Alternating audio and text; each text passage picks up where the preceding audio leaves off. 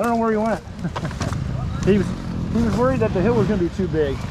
Yeah, I dropped in the uh, dropped in the creek a little bit. Did you? Yep. Uh -oh. Found the mud.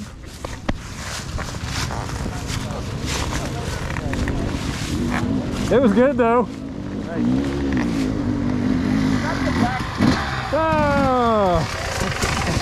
I wasn't sure which way I was going on that one. yeah, I, I usually head off to the right, but I dropped right in the left. I was like, oh.